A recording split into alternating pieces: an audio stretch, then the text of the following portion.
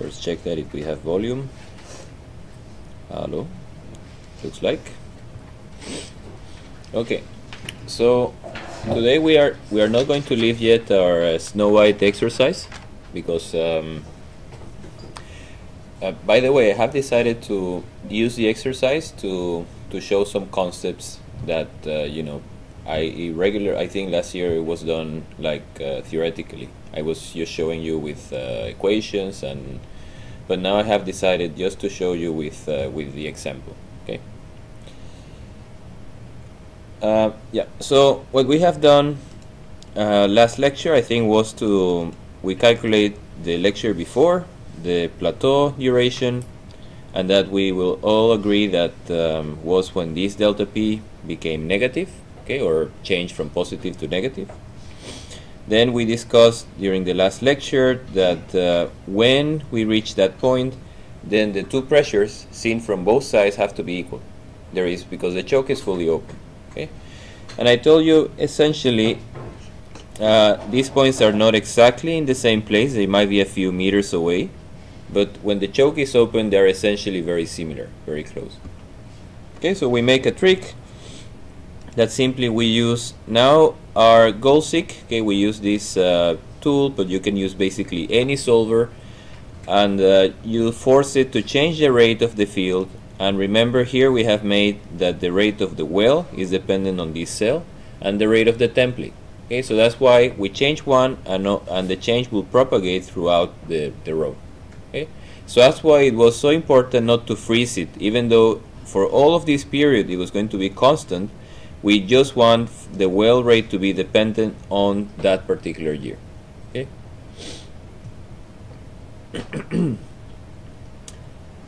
yes. So, and we made some comments. Uh, I made some comments about how commercial simulator works. You're going to work with a commercial simulator um, later called um, GAP and Prosper.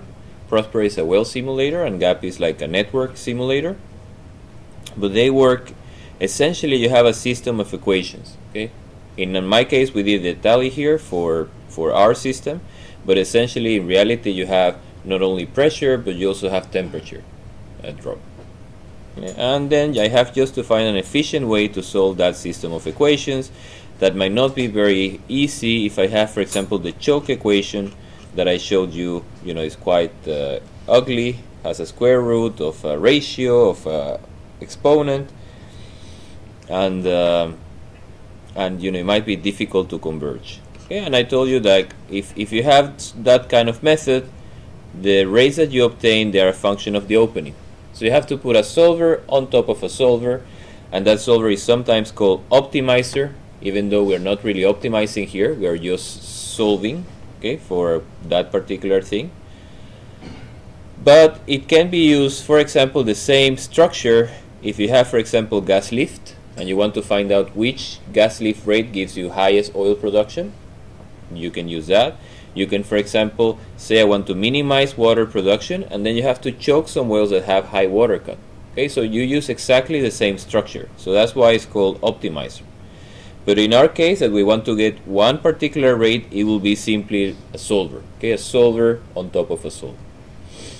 And you will see in the in the laboratory tutorials we are going to have about gap and prosper you will see these two iterations happening okay? So you have to change that and you have to converge the system and see if it's equal or not to the rates that you wanted. And then you change once more the opening and then it solves. You have like two loops. You have like two layers.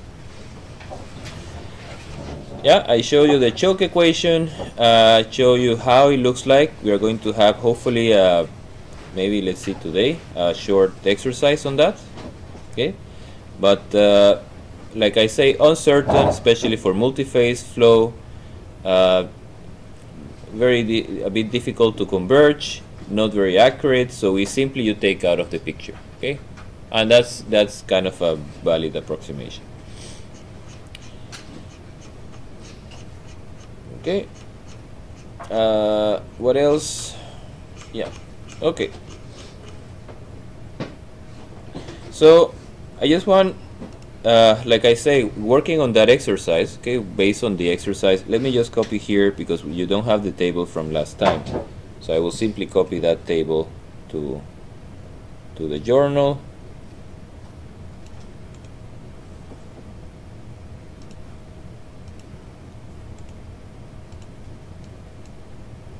Okay. And I told you that you should try to do it yourself at home. Um, to reproduce what I have done. You will have to do it anyhow in the exercise. I hope to publish the first exercise set sometimes by the end of this week or early next week. Okay, and it will be mostly focused on what we have discussed so far and what we will discuss next week. Uh, sorry, will be published the end of next week. Okay, so it will be based on what we have discussed so far and also what we will cover next week. Okay, so now I want to make a plot of two things. Okay, so in this axis, the secondary y-axis, we're going to make the rate of the field. Okay. And the rate of the field has simply a behavior that is constant, and then at some point, I reach the end, and then it starts to decline. And we said that point here was around maybe 20 okay, it happens between year 20 and 21 okay? We are not sure where exactly. Okay years. But now I want to plot just to you know consolidate um, what we discussed last class okay? Just to check that it was understood.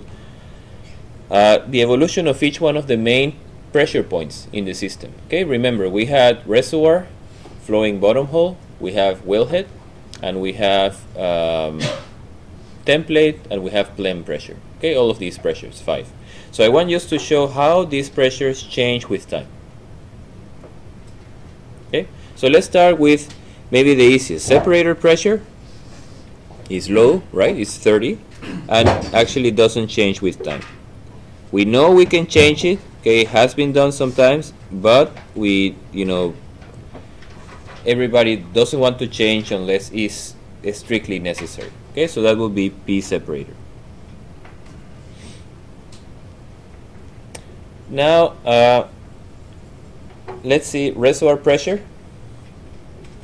is declining right? Because we are draining material out and we know from our material balance equation that says PR should be PRI set R set RI 1 minus the recovery factor okay? That means that if I have I recover more and more from this field then this one should go down okay? You have like a ratio. Uh, this number is becoming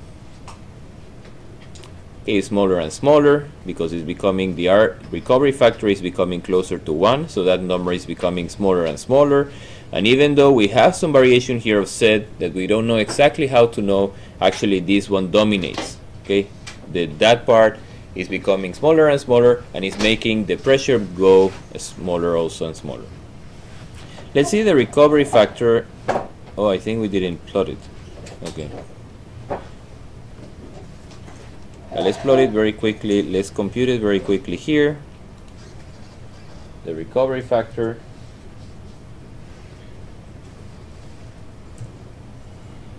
Okay, so we have recovery factor is how much I have produced divided by in that particular year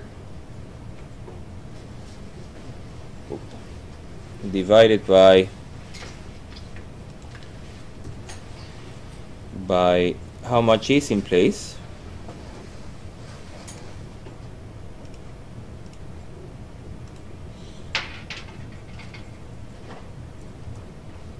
Okay, so initially the first year you don't recover anything, but then you get, I think that's not a good format.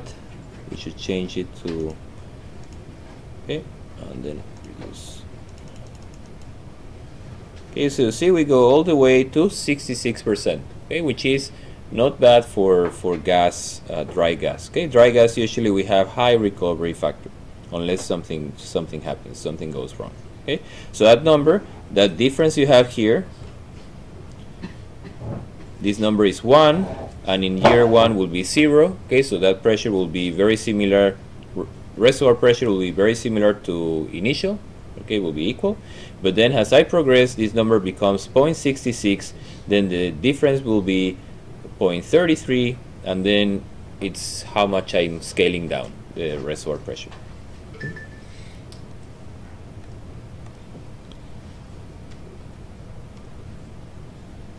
Okay, so it, it goes something like that. Let's make it up here, the pressure. Those don't confuse with the rate, but here we have reservoir pressure. Now we have to have to find the intermediate points, okay, which might be a bit uh, a bit challenging. So, do you want to start from closer to the separator and back, or you want to start from reservoir and down? Reservoir. No, okay, reservoir and down. So let's say PWF. What should be what should happen with PWF? We know PWF, right? If if in if in in doubt you use the equation Q of the well was CR PR squared minus PWF squared to the power of n, right? And okay? So we are saying at least in this period that rate is constant okay? Dc and n they are constant that pressure is going down and therefore this one has to go down right? Simply to keep the same rate. Or if you see it in another way if you clear the pressure pwf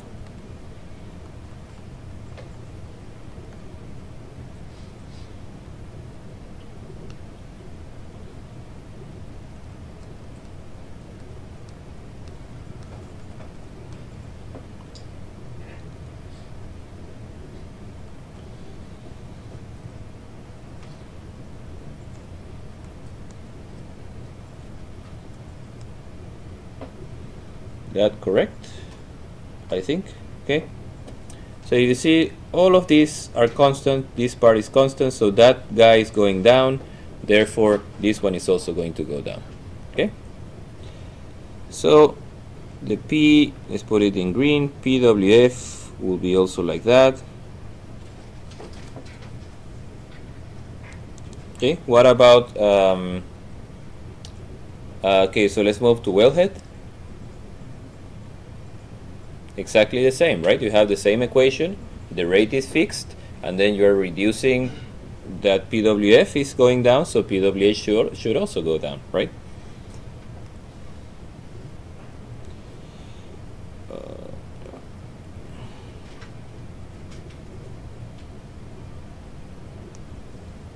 okay, PWH. Now let's stop there and go back to the separator and let's move from separator upstream to the PLEM, okay, the pipeline entry module. How is that pressure going to be? Hmm? Going to be constant, right? Because we the same, we are looking at P PLEM, and P PLEM we know that the equation of the field C pipeline P PLEM squared minus P um, separator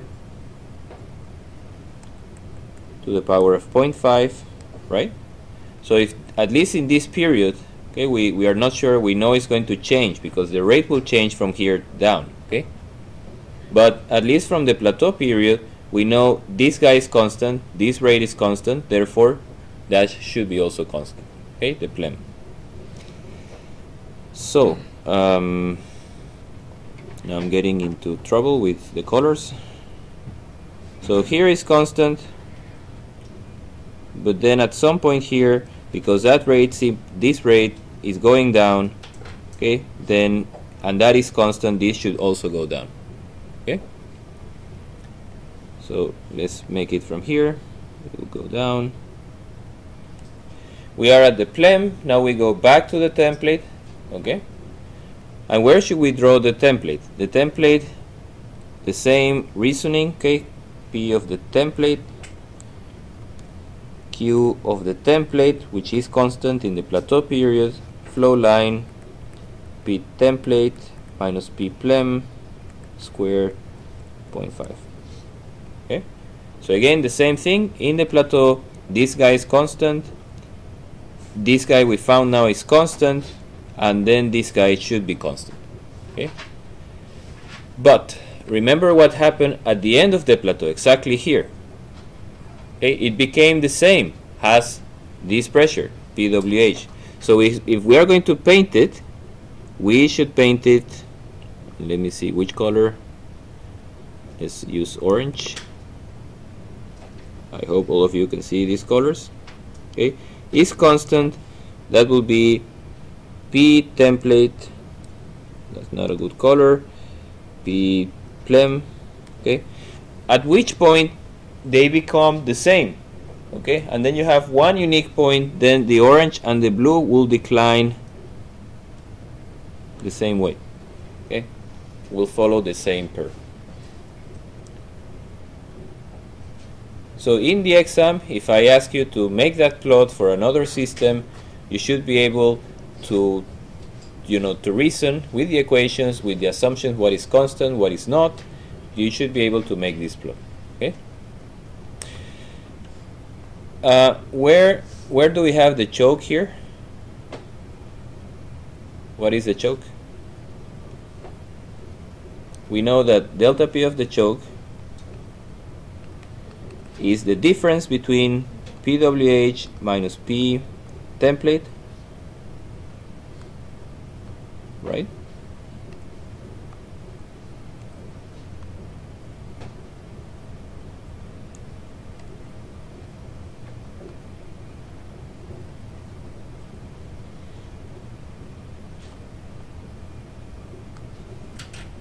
Okay.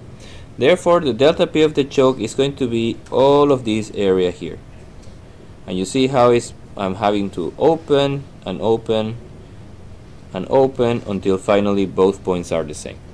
Okay, so that area here is delta P of the choke.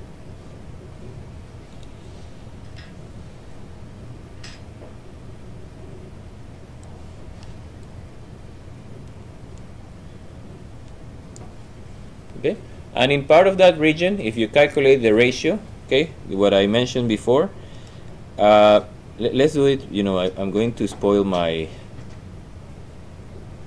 let's um, because I don't want to spoil the compression part but let's see. Let's add one more column. The recovery factor I'm going to place um, here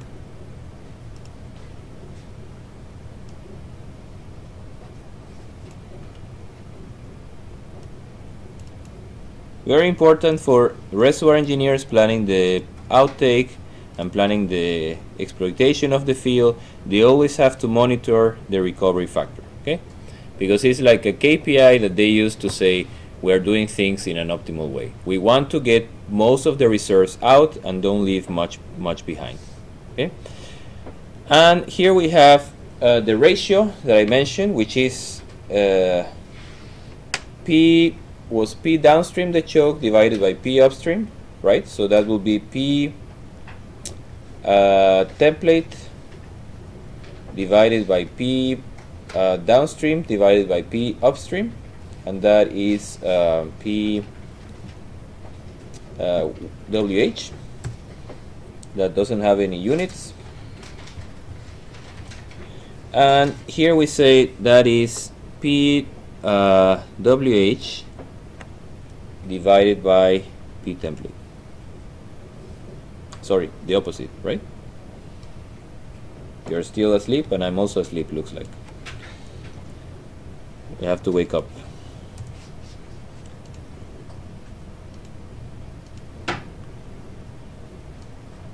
Remember the ratio that I told you that was critical flow? If it's below, uh, it's around 0.5, 0.6 okay so for all of these points up to maybe here is going to be in critical flow. Okay. Remember I told you just to, to refresh we have flow.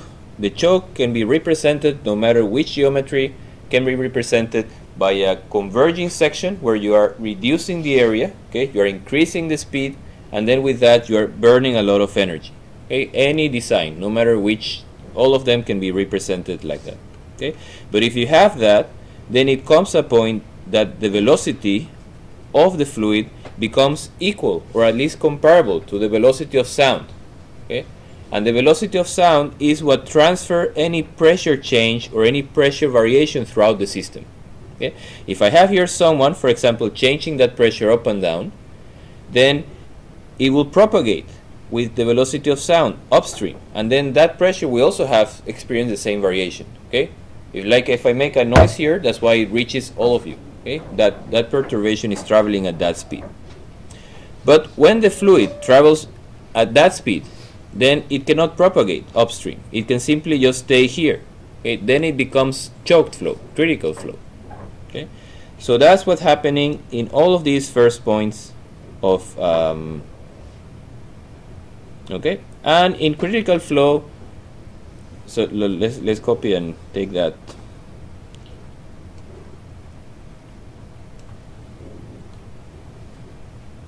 Okay, here is doesn't make any point. Here the two pressures are the same, so I don't. Um, okay, remember that a critical flow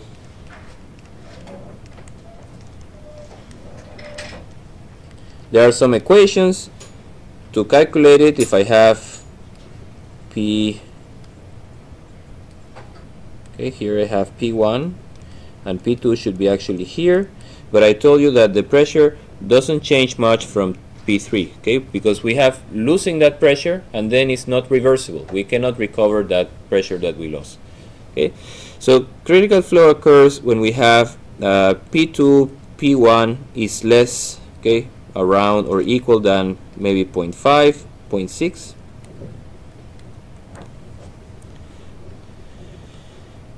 then the table won't fit here so I have to make a new page.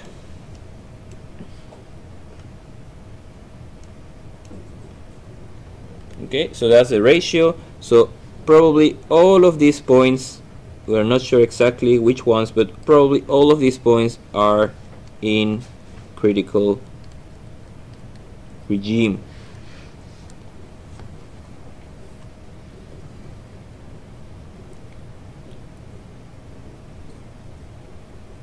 okay in that for all of those points the velocity of the throat it will be um, equal to the velocity of sound of the mixture. Okay? And all of these are what we call in the subcritical.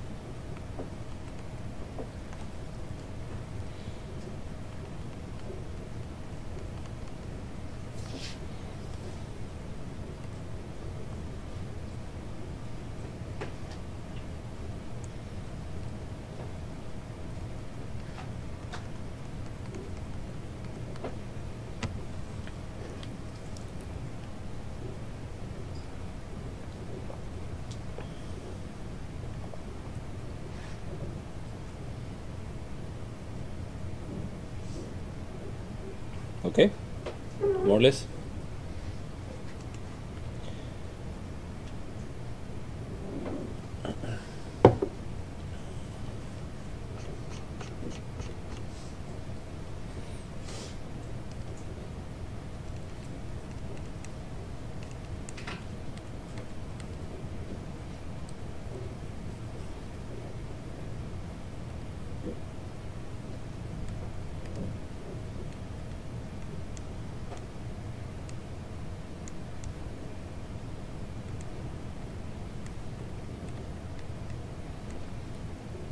okay this this number is called the critical pressure ratio.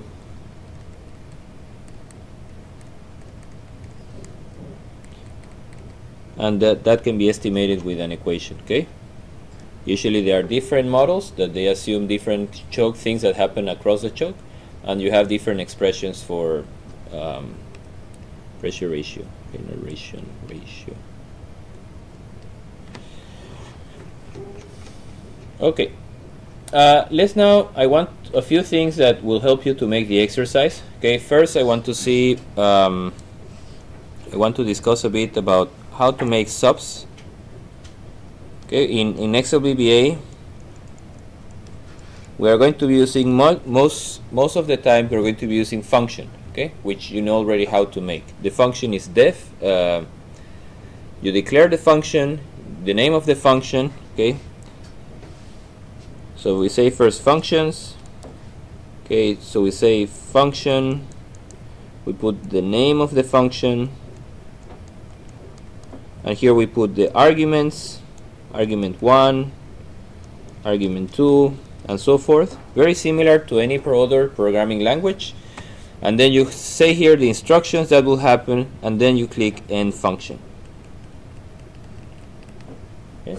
but if you want the function to return the value you have to call that value here. Name function will be equal to some operation. Okay some some function of arguments 1 arguments 2 and so forth.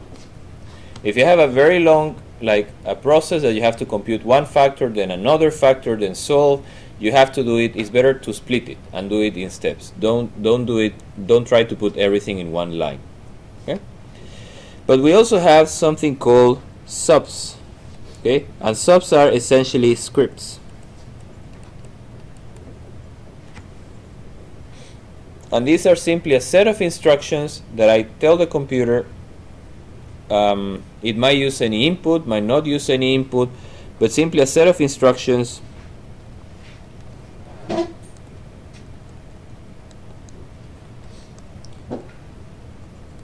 okay to execute the functions are called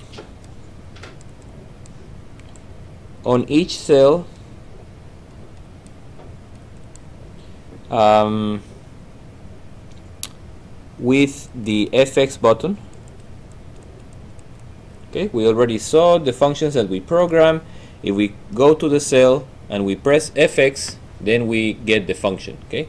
That's the way we use we use functions okay while scripts they are are run uh, from the VBA module. Or by making buttons on the spreadsheet. Okay. One another difference is that you have to save that usually in um, remember we discussed last time is like a common repository called um, okay called module. We have to save it here. Just make it maybe a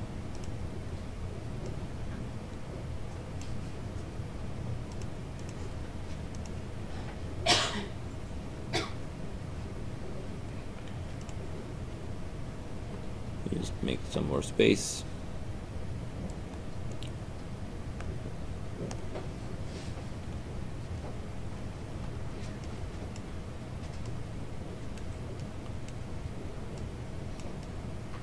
Okay it's saved in a module usually because I want the function to be available for every sheet for all the Excel book okay? So it's saved saved in a module okay while the VBA can be saved in module in the module or in a spreadsheet object okay which in our case because we didn't explore that tree very well but this will be you see each sheet has its own object here okay? So you can save it actually in each sheet in each um, depending on which one you know it's you you are using the data from okay? But you can also save it here in a common module. In module or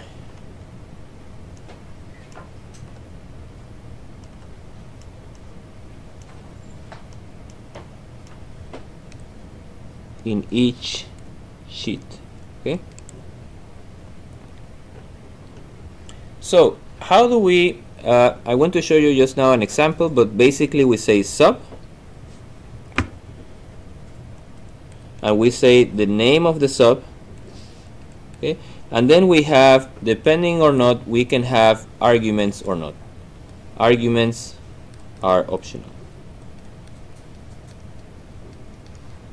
Okay? Because if it's simply a set of instructions you are going to say for example copy these values run the goal seek that's what we're going to do here. Then you don't need really any argument. All the arguments will be in the excel sheet. Okay? And then you click end sub and doesn't return anything. Okay? Maybe just simply does something on the excel sheet. Okay? So i have made uh, here the GOSIC VBA. but maybe we should take a simpler example first you see you go I went to sheet 1 that's where I'm going to make my computations okay? That's where I'm going to apply uh, the goal seek and the goal seek essentially will be applied to each column to each one of these cells. And I have to change this number okay? Change drive this value to zero by changing this rate the field rate. Drive this value to zero by changing that rate. And in this case I did it last class because there were only five. But if I have you know hundred thousand then that's not an uh, okay I, I I can tell my little sister you know baby sister to do it for me one by one but will be a bit unfair right? Okay so let's uh, take first before taking the goal seek I will take this away. Okay just to make it simpler sub declaring the sub I have to put the name of the sub and in this case it doesn't have any arguments. Okay? Now I just declare when I do that automatically if you do sub name test and then I click enter automatically it tries to close. Okay? It tries to be smart. Then I say a good way that's the way that's the syntax how I address any value in the cell. Okay? You have to put worksheets then in parentheses the sheet name and then you have to put cells. This is the row number and this is the column number okay? And then point value. So this instruction essentially is retrieving the value of cell in row 2 and in 2 so that will be b2 okay? So if we say in our in our excel sheet that will be retrieving this value okay? And it's going to save it in memory is going to save it in variable x. Okay?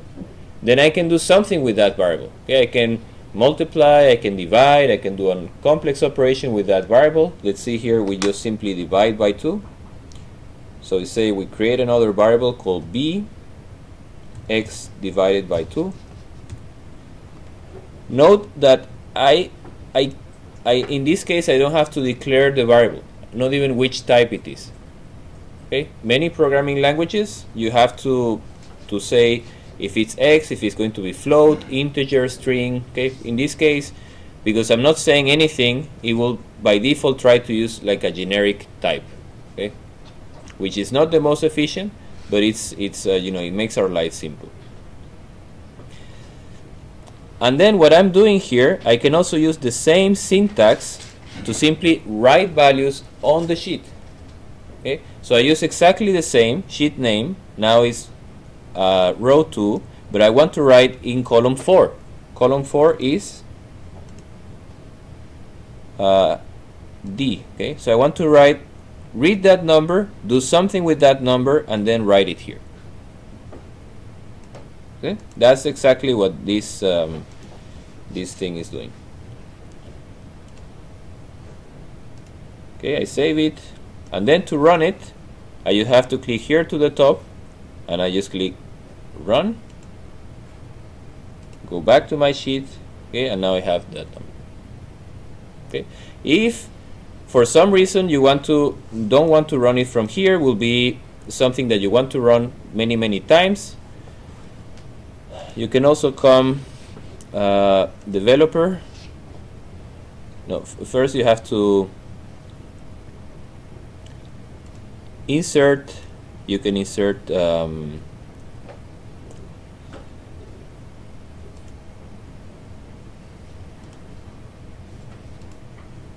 yeah you can insert a shape. Okay you can put for example here. You can give it a name. You say click here to compute.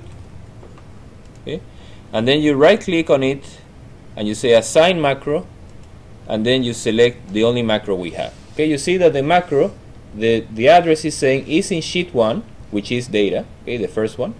then and it's named GoalSeek VBA. And by doing that, I don't have to go back to the VBA module. I can simply say run it from here, okay, and it will compute. Okay, very handy. I guess if you know when you go to a company, you won't have you maybe won't have MATLAB, won't have Python, won't have anything. You have Excel, okay, and they hope you to do everything with Excel. Okay, but if you know this, it can save you a lot of work. Okay, you maybe you can go home early. Okay, unless until they install MATLAB for you or Python or whatever. But if you know these tricks, you you can save a lot of time. Okay, so now let's do exactly what what we were. Is that clear, more or less? Okay, so I have one thing also is that I have put here the sheet name in in a separate location such that if by some reason I decided now to rename my sheet to data 2 for example I don't have to go in each one of these locations and change it individually. I might have 100 lines of code and I have might be calling that sheet name in all of these 100 lines. So I will have to do it you know and, and spoil my code. So I simply I create this variable called data and then it will if I have to change it simply I change it in one line it's very good for, for error tracking. Okay, so let's go to the GoalSeek.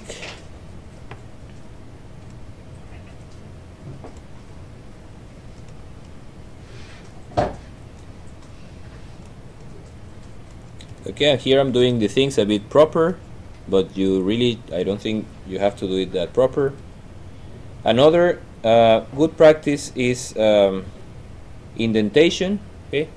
Because tells the sub does the first line and then you indent okay? And that means everything inside is part of this sub okay? That's also a kind of a good practice. But it will also excel is smart doesn't want to make our life difficult so simply if you erase it uh, okay it will run the same okay? Some other languages like python it, it needs the indentation are indentation sensitive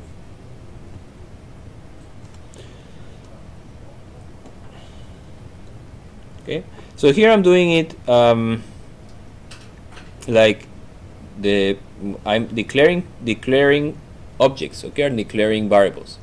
So I say first sh will be an object called worksheet. That is an object that is available in um, yeah, just before that let me just copy this so you have this example. And you don't have to go to the video to get it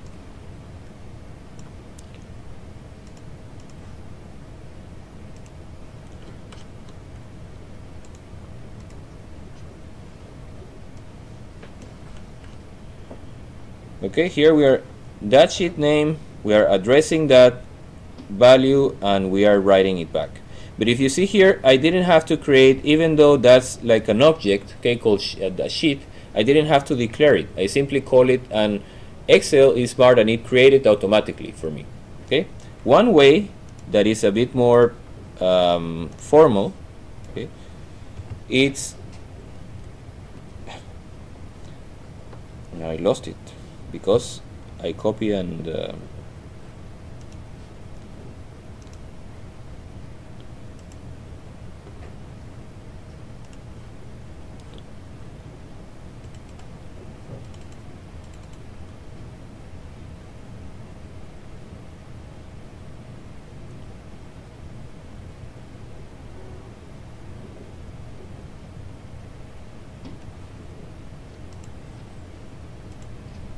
okay we lost the button so we have to make it again.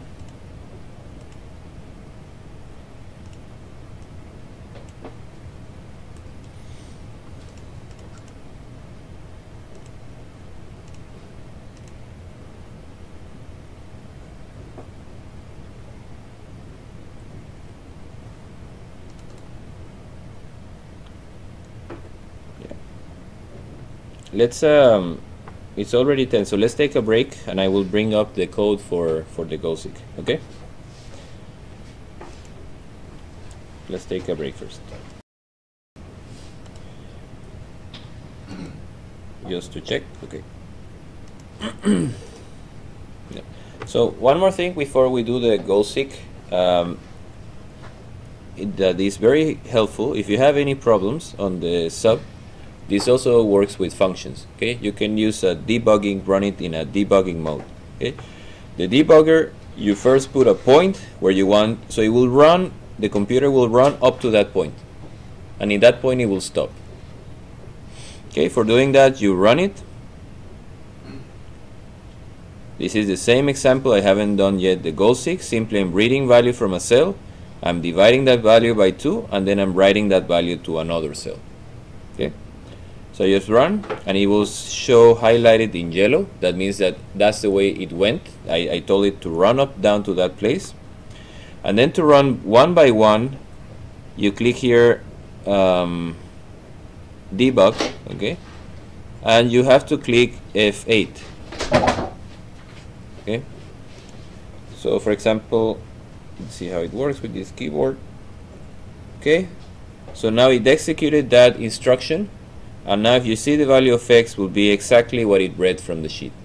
Okay, now if you click again once, once again F8, it will do the next instruction where this variable b will be divided by 2 and then that's the last instruction where it writes that value to to to the cell. Okay? If you keep the point here, when you run the macro from the interface, from this button, it will stop in the same place. Okay. Uh, also, if you don't want to see anything in between, but simply you want to run from one point to another, you can do it live and press F5. Okay, so it skips everything in between and simply jumps from one to the other. Okay, so F8 one by one and if you have another function here it will go inside the function and it will do debugging of the function with F8 F5 has to have two points and then it jumps between point and point. Okay? So let's put that here on the on our notes. Okay debugging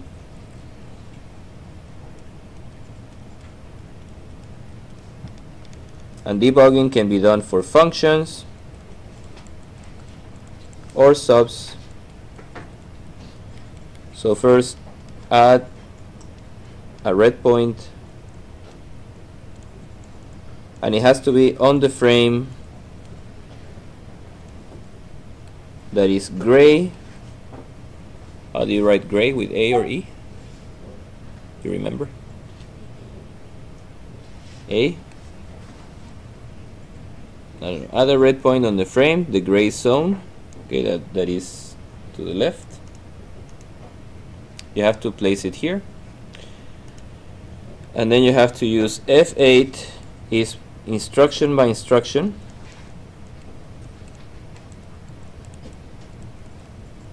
Or F5 to jump between points. Okay and if there is no point simply will execute until the end of the function until the end of the instructions. If no more points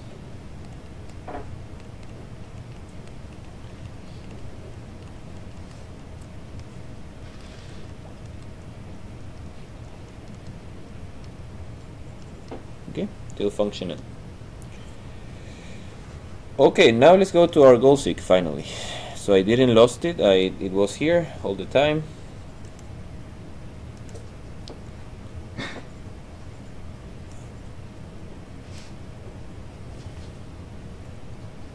okay so here I'm creating this worksheet. I'm assigning that worksheet that will be exactly the one called data. Okay set. I'm defining. That's uh, then I'm um, creating a variable called target. Okay and that variable has a long uh, it will be kind of a numeric with with digits. Okay with decimal points. So I'm defining that. That's something we didn't do before. Okay then I define that the target, I want to drive that value to zero, okay, which is the delta P of the choke, has to be exactly zero. And here I have to do a looping throughout all the all the rows, okay? So let's see here, let's change it back to the number that it had before, that it was 20 million. remember I have to put the number don't link it to a cell otherwise the goal seek won't work okay so I want to apply the solver in this column column O okay and changing this number based on this number in column C. Okay so the objective is in O the variable is in C and I want to apply it from uh, row 45 to 49 yes? 45 to 49 and C and O okay so from row 45 to 49 I have to create a tag. The goal seek uses a tag okay to to to choose each cell doesn't use this same nomenclature okay that uses numbers but uses a tag. So the tag will be the objective will be O and the variable will be C yes? And it will be C O45 changing C45 O46 changing C46 and so forth okay? And here is where actually I solve the goal seek okay?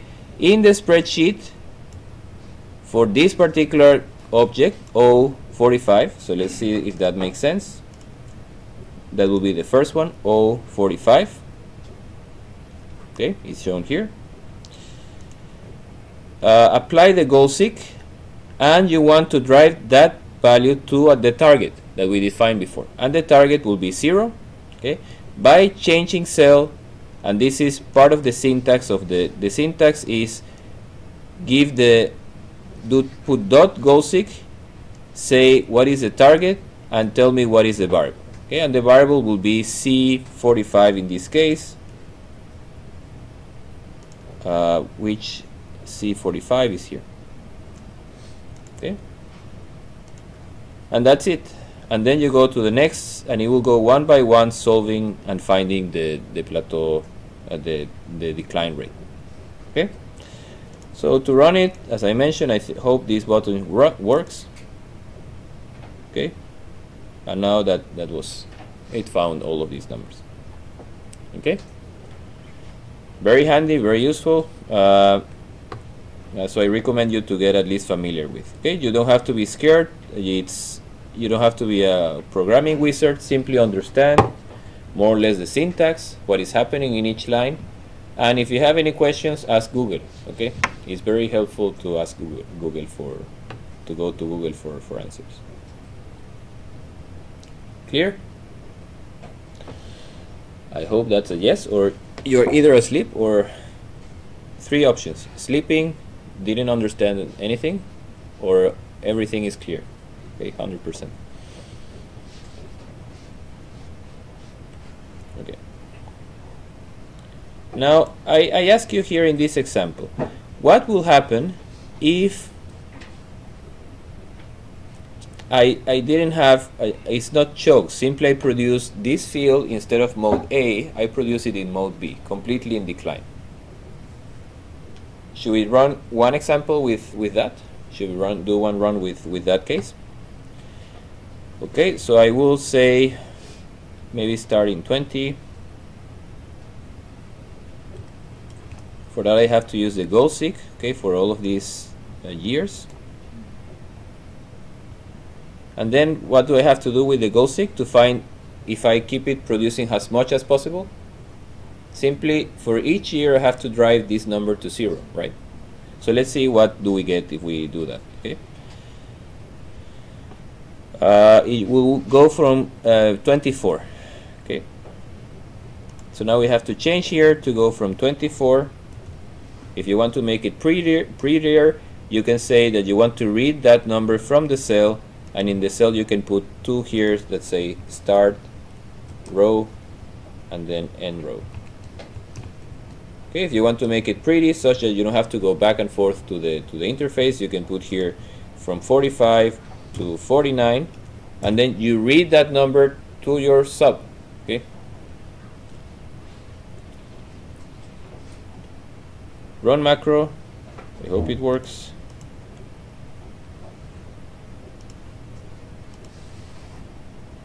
Okay it gave me an error. And let's see what the error was. Was able to solve successfully up to here. But here the rate of 20 is actually too too big okay? And we get an error in PWH available. Okay? So what happened here? How do we compute PWH available? Think uh, PWH is with the tubing equation right? What is a tubing equation? If you remember QG CT PWF squared e to the s minus PWH squared. Okay. Then I have to clear PWH will be uh, the square root of QG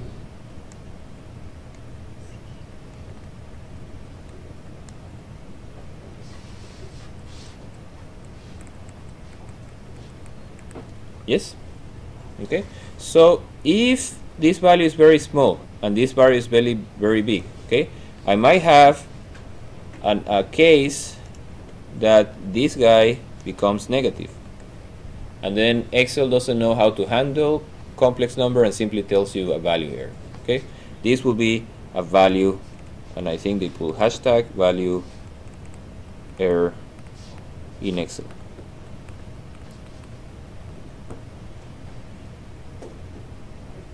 okay so that means that the rate we are using essentially I have to use vacuum to produce it. Okay if I want to produce that rate I have to go to a negative pressure. It won't be physically possible. I have to to put to put vacuum okay? It's even less less than zero. Okay?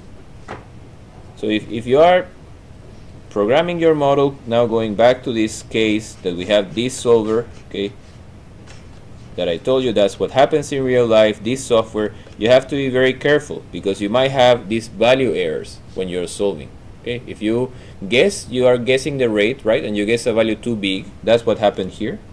I'm guessing that the value will be 20 and then suddenly I have a negative value error everything collapses okay? So you have to have these checks of the initial conditions that that allow you to get to um, um, to a solution.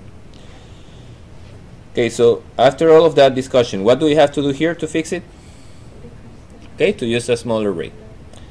And let's say here it was 11, so I know it has to be less than 11, so let's try simply 11, e to the 6. Okay, here I don't get any value error, simply negative numbers, so it should be fine. I want to drive this to 0. And then I apply uh, the solver the goal seek from 45 to 49.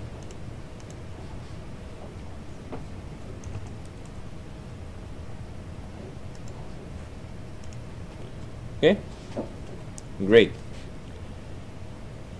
Now you see how much I'm producing. If I were to produce this field in mode um, mode uh, decline, right, in mode B, okay you see the rate is this guy here. Okay and you see the rate initially is very high and it will let me just maybe copy this chart without any of these guys here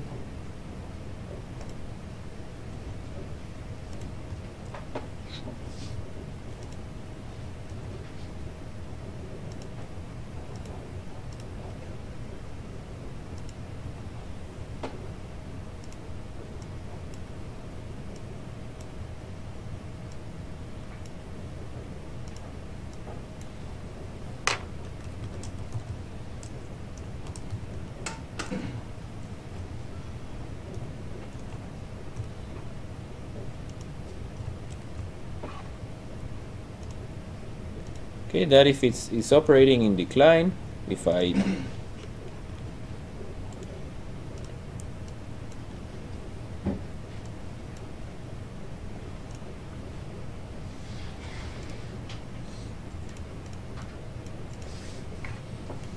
okay. Instead of having um, the, the original there was something like this right? And then in year 20 20 something you start to decline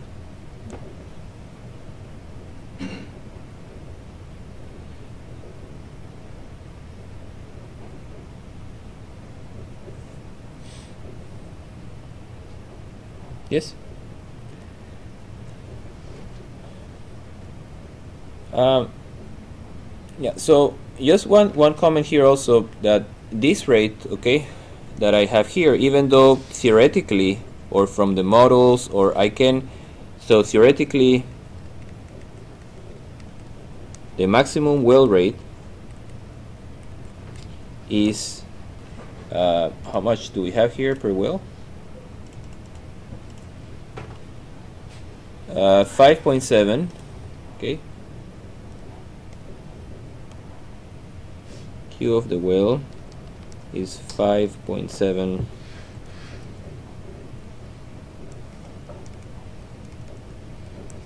okay.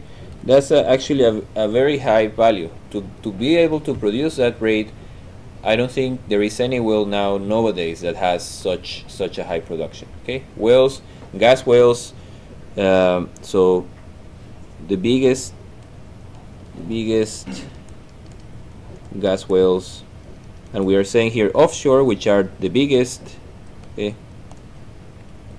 the biggest offshore gas wells produce at most uh, something between 3 e to the 6 okay 3 million standard cubic meter per day because simply that tubing size I think this tubing size uh, of 3 is a tubing size tubing diameter of um, I think it's something between 7 and 9 inch and that's already quite big for the hole okay for the holes that I have.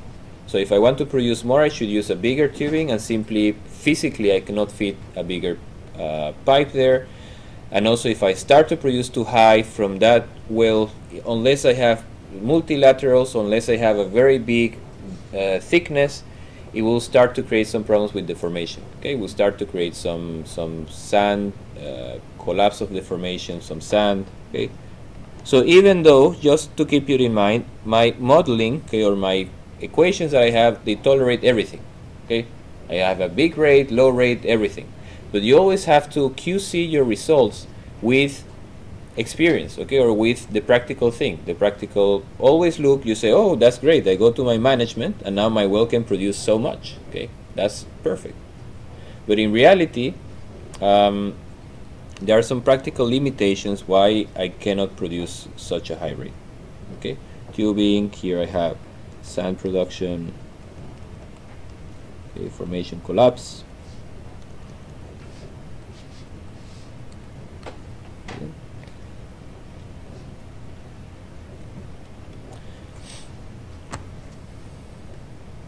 Okay, now the next thing I want to introduce is something called uh, production potential.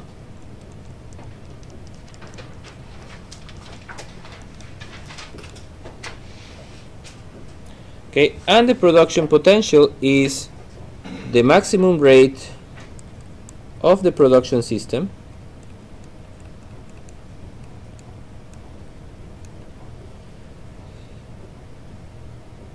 uh, versus cumulative production.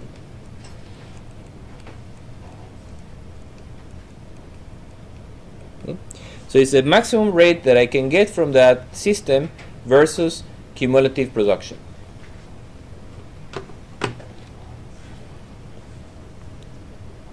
Okay.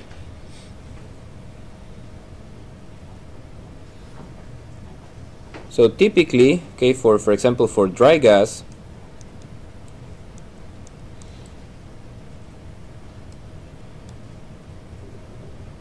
if I plot here, remember cumulative production is GP going from zero, and then I have Q max. That's typically something like a, a nonlinear line like that. Okay. So now I, I just want, and this I think it has been a bit difficult to explain uh, for the last years, and I have tried all kind of approaches. But if all else is fixed, all else is fixed, that means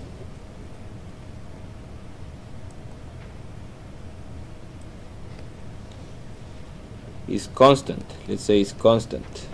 Okay, number of wells okay. Um, choke opening. Uh, number of pipes etc okay. Then this Q max is only a function of cumulative production.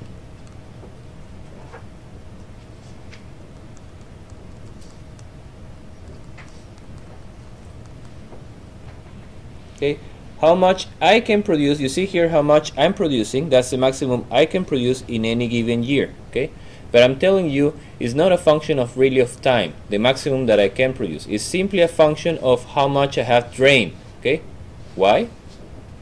Because it's only a function of okay if we say here q max is only a function in this example okay of reservoir pressure right because if I have certain if I have certain reservoir pressure okay I will have certain maximum rate that I can achieve okay and reservoir pressure is only a function of GP right? That we have established before by material balance. It's only a function of how much I have drained. And therefore, in conclusion, or then Q max is also only a function of GP. Which is a, is a, is a bit strange, okay? But um, so let's make that plot, okay, that we um, just maybe to understand uh, a, a, bit better. Okay, but but essentially, what I'm saying, the maximum, the production potential of the system is simply the maximum rate I calculate. In my case, no choke, zero. Okay, versus cumulative production. Okay, here I have calculated with time, and here I say that let, let's do it against cumulative production because I know it's not a function of time; it's only a function of PR. Okay and PR is actually only a function of GP. Okay, so let's plot it. See, I have to plot here column D versus column uh, Q. Okay, C, D versus D versus Q.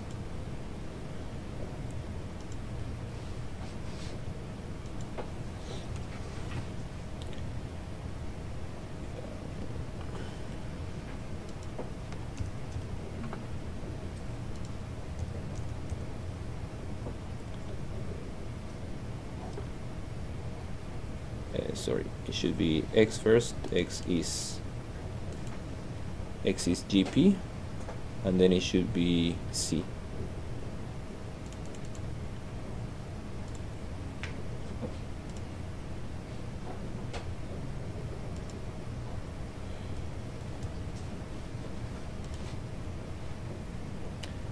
No sorry. That should be d right that should be C.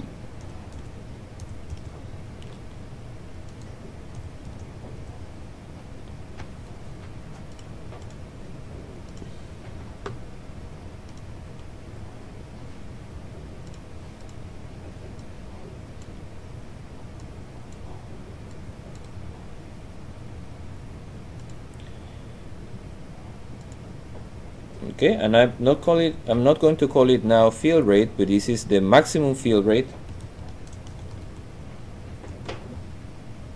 Okay that is QF max. And uh, this this this one this axis.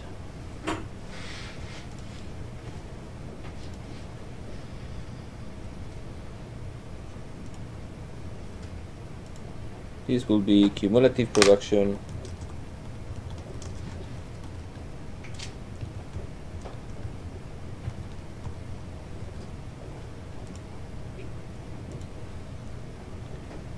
sure why so big? Could put three here.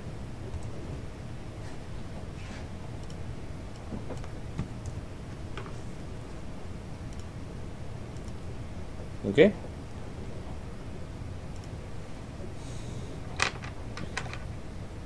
Okay so that's the production potential for my for for my case for this particular case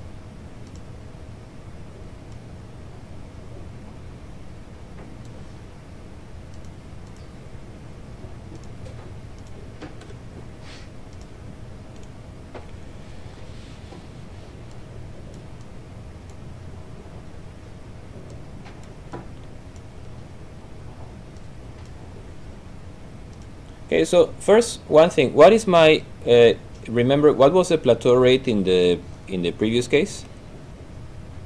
20 million, right? Yeah. So we come here, what will happen at 20 million? After 20 million? We have a division, right?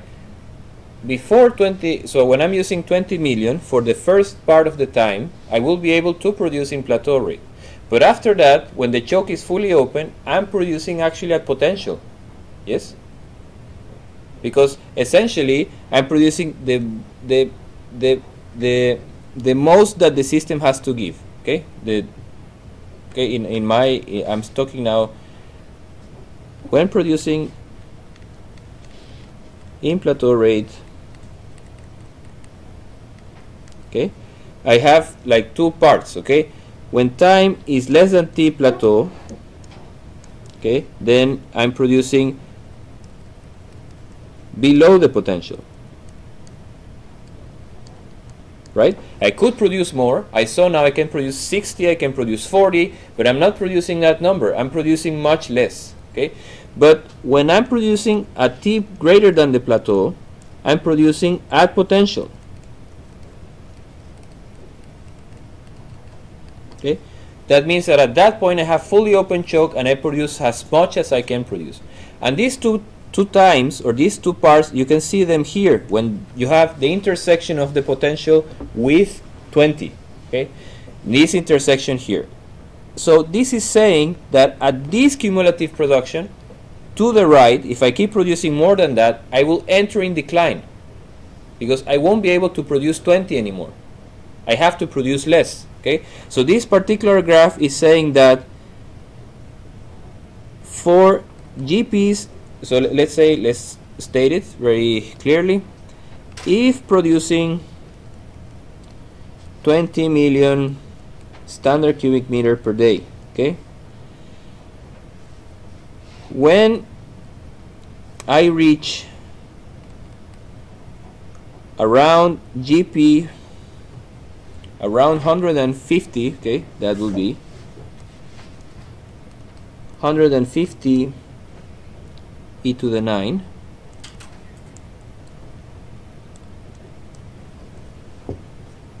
I will have to I will enter in decline okay? The field enters in decline.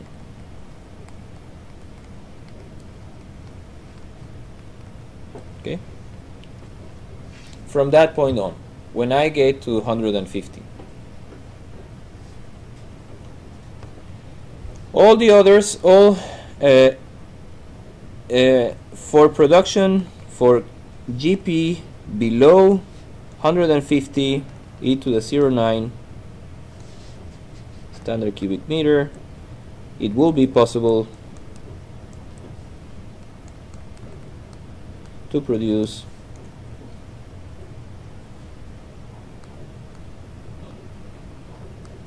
at plateau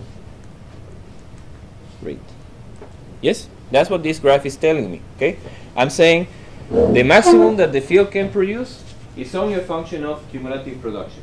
Why? Because I know this number is only a function of reservoir pressure. Okay, and reservoir pressure is only a function of GP. Okay, so and this has been verified. Okay, I know that my field initially can produce like 52 million, and then I can produce more and more and more. But at certain GP, that's where I will be able to produce 20. If I keep open choke, that's where I will be able to produce. So this is what it's saying is that for GPs, when I have reached 150, that means when I have reached certain reservoir pressure, okay, I won't be able to sustain anymore this rate without doing something. Okay, so additional wells, uh, increasing the tubing size, doing something. Okay, but for all the cumulative productions before that, Okay, for all 150 and less, I will be able actually to produce that rate. Okay, so let's calculate now. Let, us estimate using this curve how much, um, how much, you know, what plateau time do we get? Okay, just to verify. So for doing that, I, I see that this curve is relatively linear, so I try to make a trend line, straight line, uh, the intercept should be what is the first point here? 51.7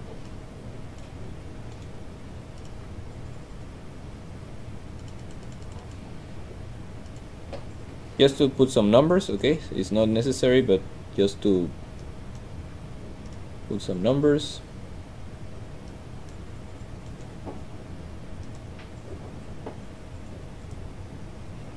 okay so it's not exactly linear. You see you have some deviation but it's let's say it's it's uh, linear enough. Display equation.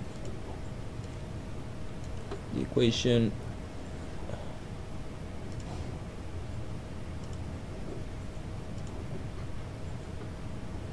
Okay. Okay so that's the equation of that curve. So we want to know that gives me Q, Q max as a function of GP okay so let's copy that equation. Can copy that equation? I can. For our case for Snow White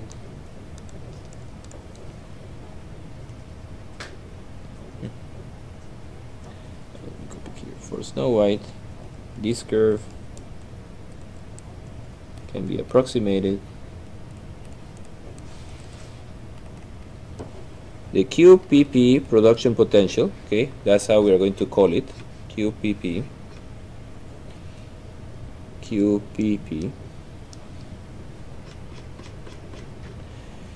it's equal to minus 2.09 e to the minus 4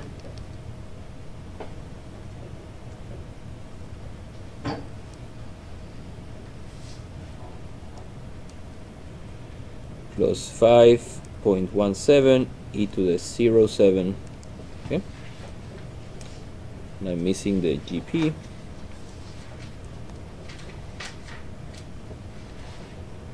times uh, GP okay.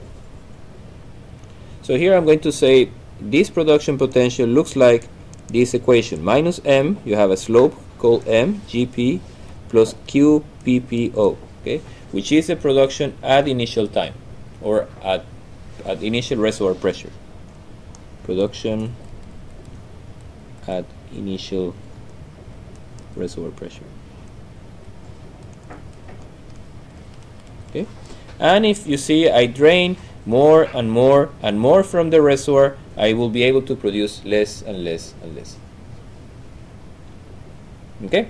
So let's use that what we said we say to find this GP okay? This 150 this number to find our, our task is find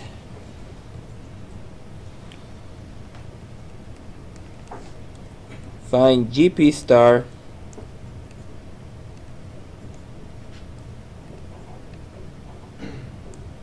for which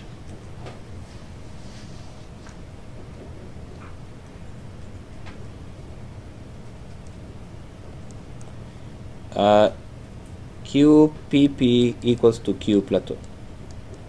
Okay, and Q plateau is 20 million. Because we know after that GP I will enter in decline. Okay, and you will see why that's that GP is important.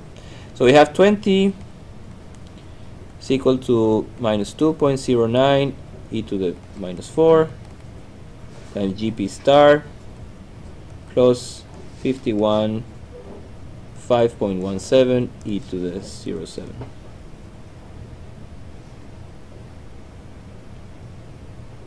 Okay. So GP star is uh, 5.17 e to the 7 minus 20 e to the 6 divided by minus 2.09 e to the minus 4. How much is that?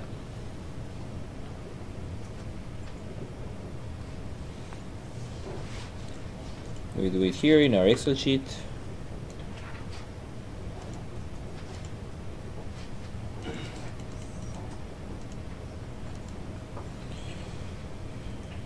Okay that would be actually this number here minus 20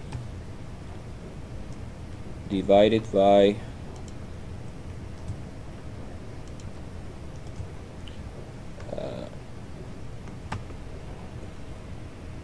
should be actually plus right here. It's not minus.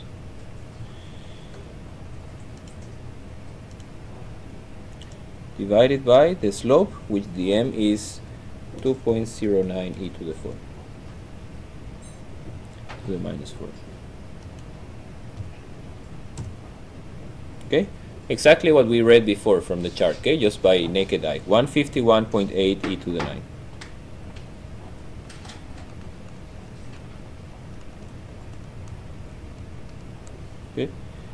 Now I say you're that's great Milan you told me at which cumulative production but why is that what is that useful for? Okay, why do I need to know this GPT? Well, you know that from 0 from GP in this interval, okay, 0 to GP star, I have been producing at constant rate, right? Is production at constant rate. Therefore, okay, that means that you were doing Q plateau. That, that means that GP star can be approximated as Q plateau times the time of the plateau. The duration, right? Because up to that point, I'm producing at a constant rate. Okay? Therefore, I can know exactly with this curve I can know exactly that um, uh, GP over Q plateau. How much is that for our case? The duration of the plateau will be this number and I produce that number in with a rate of 20 to the 6. Okay?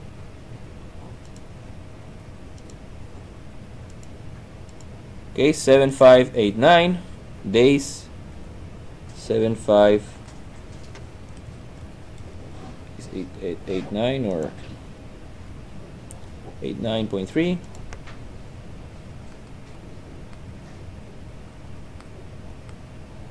days okay and how much how many years is that? 7 5 8, 8 9 okay how many we have now? Remember this unit was standard cubic meter and this was standard cubic meter per day. Okay so we eliminate these two and this gives me in days. Okay. And remember we said the uptime in our case here was 360 days per year. So then to find years I simply have to divide by 365 and how much is that? 7589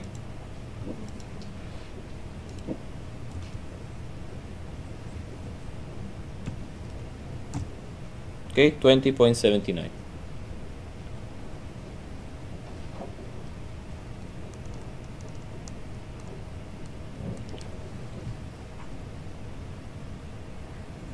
okay so that's the usefulness of of uh, of uh, this production potential curve. Okay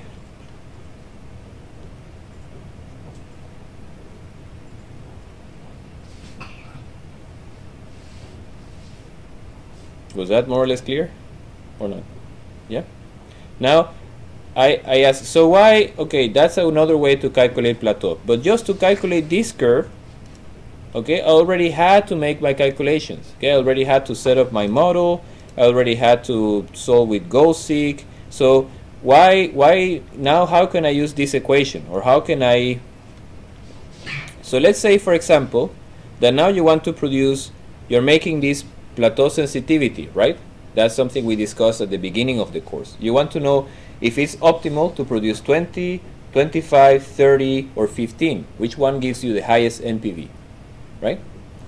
So, and you want to know the plateau end, for example, for uh, a task find plateau end for a plateau field, Q plateau, or for example, let's say 30.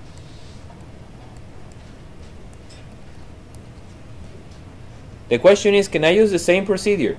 Can I use the same equation, this equation here? You have to ask yourselves, has anything changed in the system if I use 30? Anything changed? I'm going to use the same number of wells. The tubing size is going to be exactly the same. Flow line size, pipeline size, everything is the same. Okay, I'm not going to change anything in my Excel sheet. Okay, therefore, if I calculate the potential curve, okay, it's going to give me exactly the same, right? No matter if I, if you know, if I change the plateau, it doesn't change the system. It's simply the same system that I'm trying to produce with higher rate or lower plateau rate. So both systems, both cases, okay, should have the same curve. Okay? So then what is the procedure? I come with, um, okay, again, QPP should be equal to Q plateau. And that is equal to minus M GP star plus Q PPO and the Q plateau is 30 now.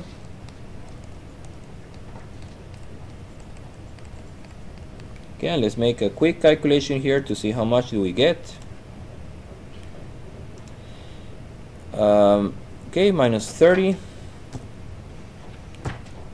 then I get so many days and then I have so many years. Okay 14.23 years.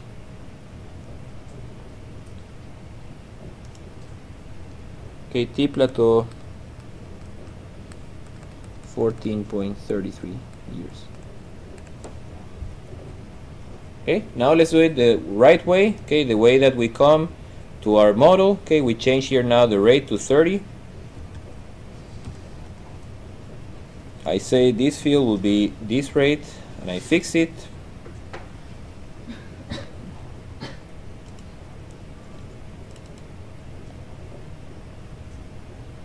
Okay.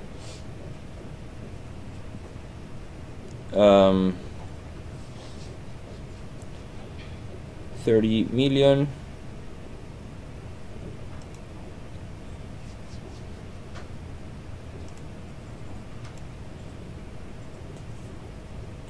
this should be 51.7 right?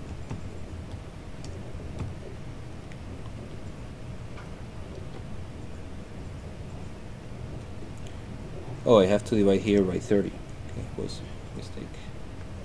9.48 okay so I'm, I'm having here that the plateau is finishing ending exactly between 9 and 10 okay I had a mistake in in the the equation the QPPO minus uh, the plateau rate divided by m and then I get the number of days I have to divide by 30 and then I have the number of years I divide the number of days by 365 so it's actually 948 okay.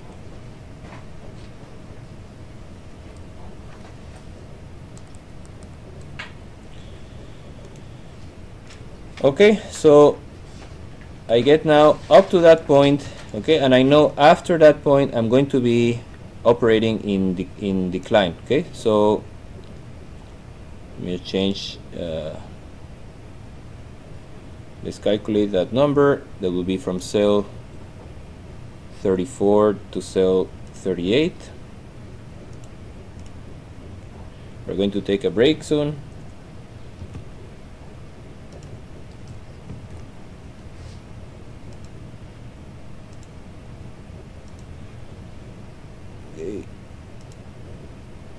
sorry 30 yeah 34 to 38 oh yeah.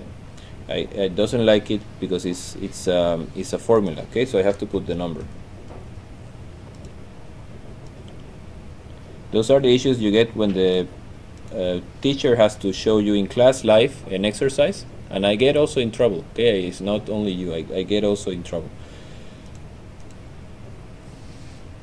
but hopefully there are not too many bugs. So here for all of this is 0, and now the rate should be like more like 20. Now I change it to 20 for have, having a better seed. Now I have to solve from 39 all the way to 44.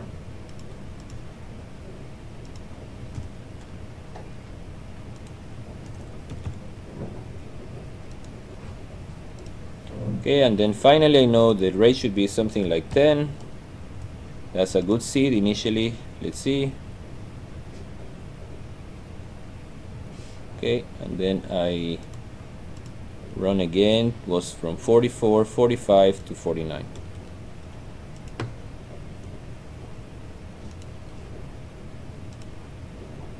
okay and that's my new profile.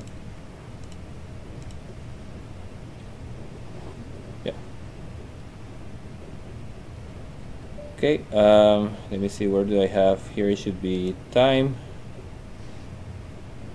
And time is, um, I think it's B, right? B. Then I simply reset this guy.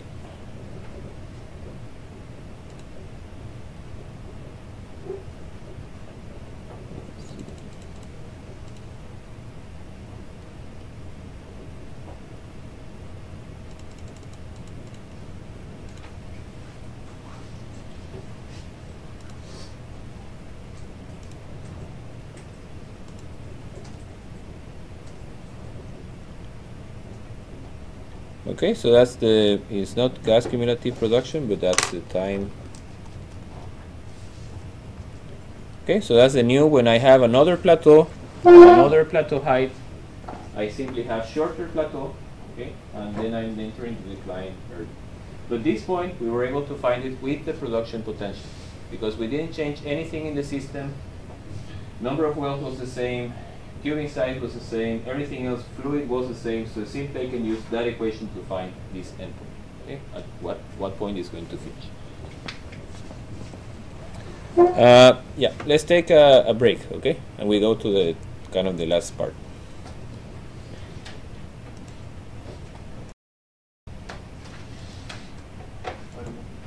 Check, check, check. Okay. So those were the results for 30 okay.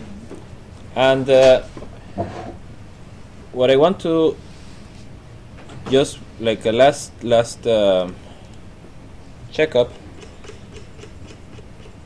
We take we have our potential curve right that we use to to estimate the duration of 30 okay and the duration of 20 that we see they match. We're doing it uh, stage uh, step by step. So in the case of 30 uh, when you reach, you see the end of the plateau is something between 9 and 10, this 948, right? So 30, you have a cumulative production of 9.86. So let's plot that number here. 30 together with 9.86, okay, which is very close to 98.6.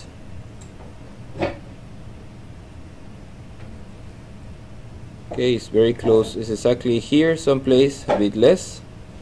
Then you have uh, the next point that follows is uh, 0 year 10 so it's 28 and 110 28 is someplace here 110 how should we divide this? It's um, 150 1 2 3 4 1 2 3 4 okay so 110 will be here. 28 you're exactly on the line. And then you see for example another point 20 and then you have 146 21 you see close to this line. 146 is someplace here. Okay and you are on the line okay? So for all points after time this was after time 9.48 years okay? You are exactly on that line. You are producing basically a plateau. That means that for every GP you are going to be producing the exact number. While for all the years before after T Q of the field will be equal to QPP. Okay, but before that, before uh, T plateau, then the Q of the field is actually less than the Q of PP. Okay, because I, I'm forcing it to be 30 exactly, and I could produce in, in theory much, much more. Okay.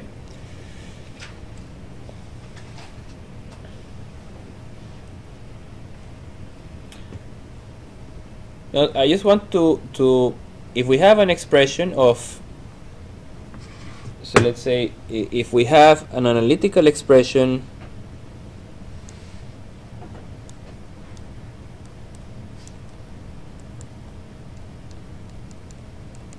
of the QPP it is possible to find to find an analytical expression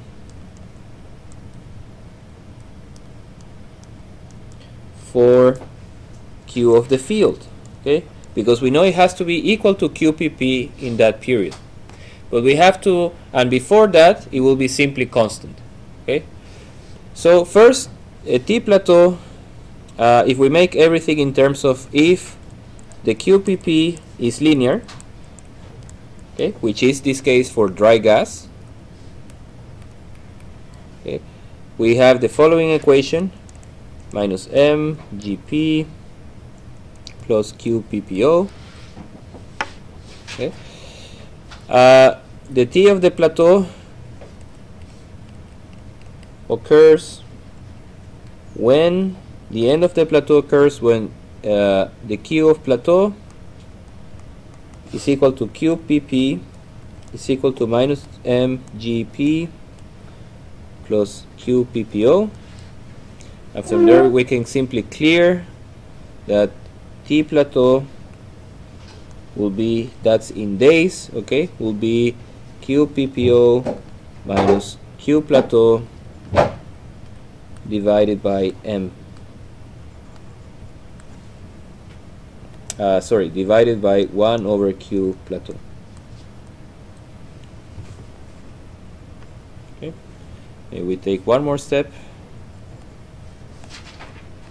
Is gp star divided by q plateau?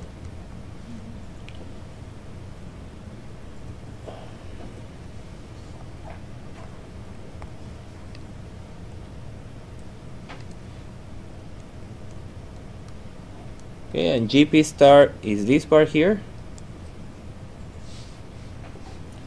And um, and then divided by 1 over Q plateau. And that tells you that T plateau and that is in days it's um, Q PPO divided by Q plateau minus 1 okay all of that 1 over n. Okay? If it's linear okay which in our case so I just say take advantage of this fact for this snow white field because it, it follows you see you saw that it follows more or less quite a straight line okay? So you can do calculations manually but because it's linear you can use also this equation okay? So just I let you decide what to use but you know you can save some time. You don't have to do it time by time if you use this equation okay? Then we have that if the time is less than the t plateau, at the end of the plateau, okay, then simply the q of the field will be q of the plateau. However, if the t is greater or equal than the t of the plateau, then Q of the field will be equal to the potential, right? Okay. And what is the expression of the potential in that case? QPP minus M, right? And GP can be divided in two parts. Okay. One is the plateau. Zero is, remember, the GP is the integral of 0 to t of Q of the field okay times dt plus qppo right? But when we are in this period right we know that we have produced some part in plateau right? So this term gpp is divided is split in two. Qpp will be equal to minus m q plateau times t plateau okay plus an integral from t plateau to t of the key of the field dt plus qppo. Right? I'm now expressing the production potential, which is a linear expression, right? Remember, is qpp minus m gp plus qppo. Okay, that's the expression. But I know now we are in this regime, so I have produced part of it in plateau mode, which simply is that multiplication, right? And part of it, I'm, I don't know. I will have some rate that I have to integrate from plateau to t. Okay? But that rate is also this rate, right? Because actually at that point, after that point, I will be producing at plateau. So these two become the same. So the final equation is like that. Q of the field. Okay, because I'm exactly in the period what I'm producing at plateau, MQ plateau times T plateau plus T plateau to T, Q of the field, dt, yeah, M is multiplying only these guys plus Q PPO. Okay. And our intention is to find these guys, okay? This guy I know, I impose it. This guy I know, I know how to calculate if I have my potential. And this guy I know, I calculate. Okay? The only thing that is unknown is this guy, which is one equation with one unknown. Okay? So those of you good in math, how do you solve this equation?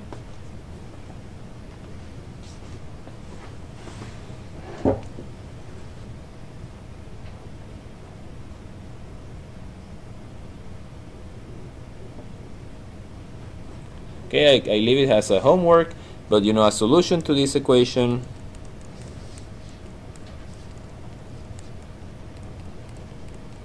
is that the Q of the field is Q plateau times E to the minus M T minus T plateau.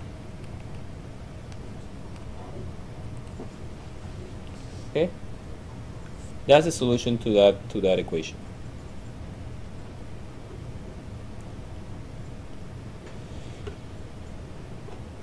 Okay, so that's what I have to substitute here.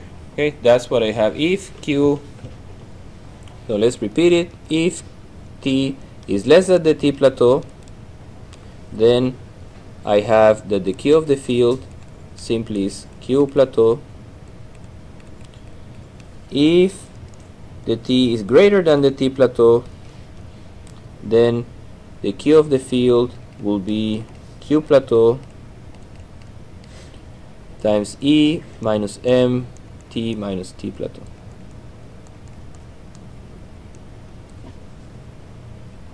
Okay, where T plateau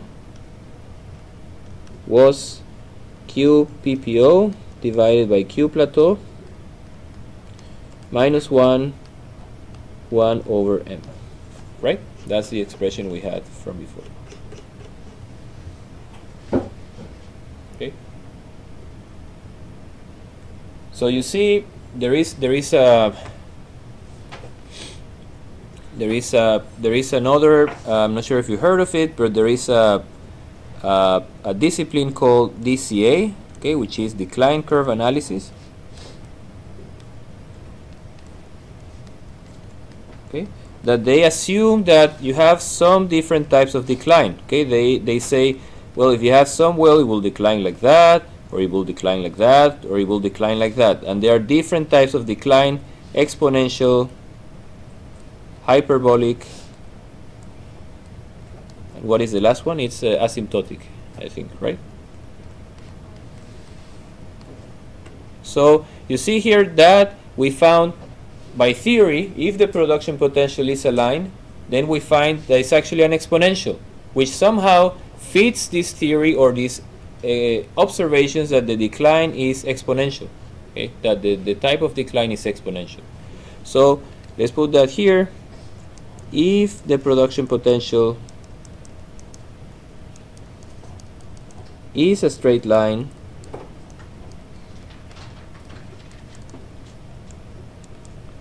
then the the the decline decline rates are exponential.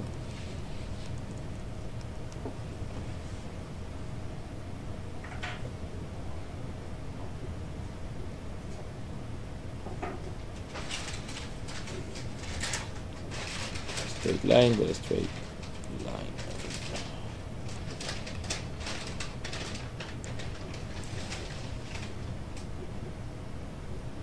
Okay, and I ask you if if if you want to to go on. We estimated now the the. Oh, where is it? Okay, we estimated that with using our Excel sheet. Okay, and I now ask you to try to estimate with that equation. Okay, and compare them to see how how do they match, how do they compare.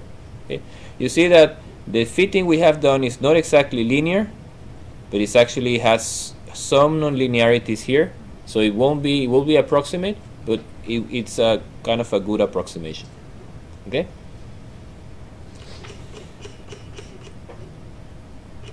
Okay. So any any questions?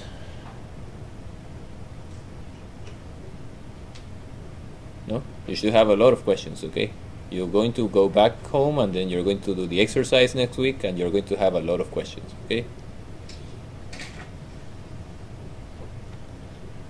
Okay, so now let's uh, take a short discussion and then we end up, I hope we end up early, a bit early today. So, how to prolong plateau?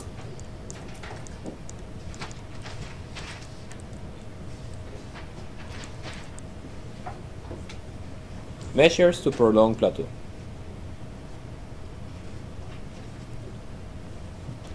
For example, in, in our case that we have here, we are producing 30 for 9 years but now the customer says well I would like to have for 15 years at least. So what is one option? What can I change in my system? I can change all of these right? Uh, I have done my Excel sheet to change. So let's see let's look go through that list and see how can we change. Can we change initially in place? No right? That's nature. I'm that I might have some uncertainty how much I have in place right I might not be sure if it's that number.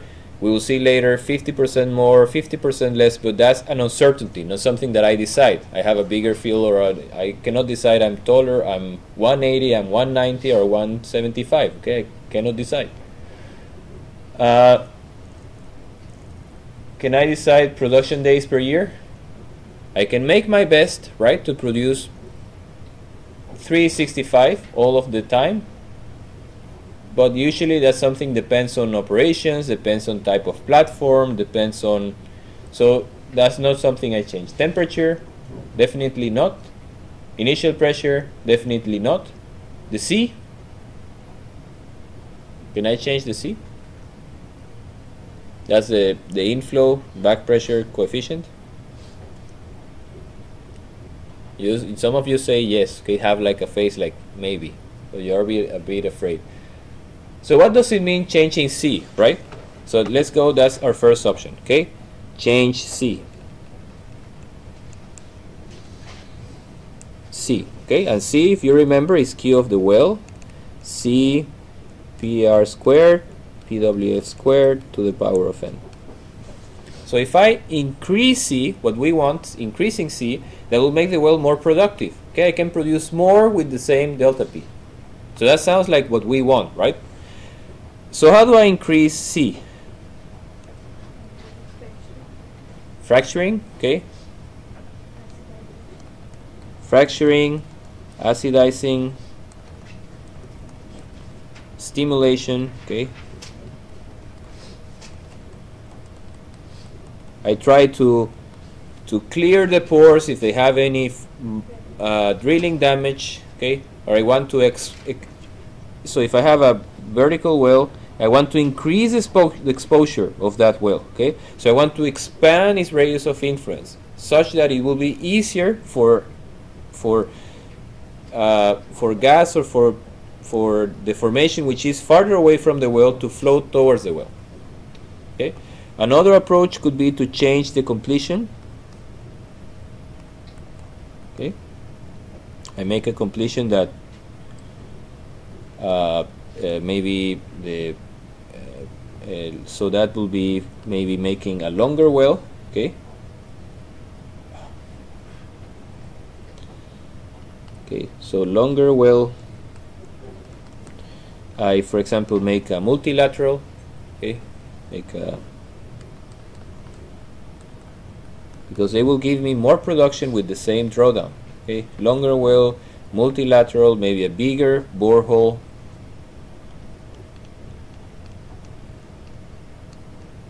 okay? That will help. So let's go on the list and see what else we have. What else could we change? N n depends on the flow regime on the porous media right? So if I have laminar if I have turbulence so it's something like given by nature something that I cannot change that much. CT can I change this guy? Yes right? Remember CT um, it was quite a few classes ago, I guess. Um,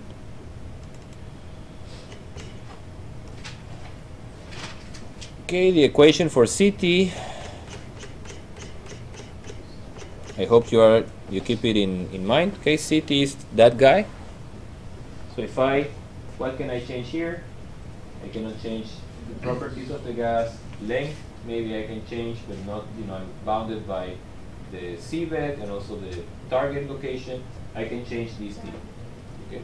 So I can make bigger, basically I change the C and I make a bigger diameter.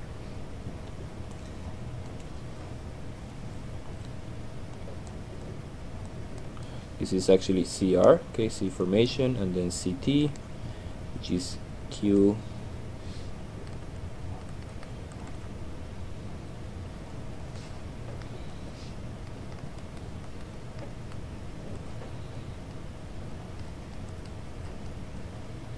Okay, so if I increase that number, then I will produce more, and to increase that is basically to increase tubing diameter. And that's why I told you if you want to produce more from the well, one way will be to make a bigger tubing, but if you go more than 7, 9 inch, that's the limit. You cannot fit physically any bigger tubing on that well, okay, with the current uh, drilling strategy. Uh, yeah, let's go, what else? S, can I change S? Like I said, you know, S has some dependence. Let's look at the equation. S has some dependence on the length and the, the angle, but actually when I have a target and, uh, and a seabed, it's really limited what I can change, uh, what I can change there. Okay, so not really not not a candidate. Pipeline, flow line, could I that could I change that? By design, right? I can make simply a bigger flow line and a smaller or a, a smaller. Okay. Change C CPL and CFL. Okay.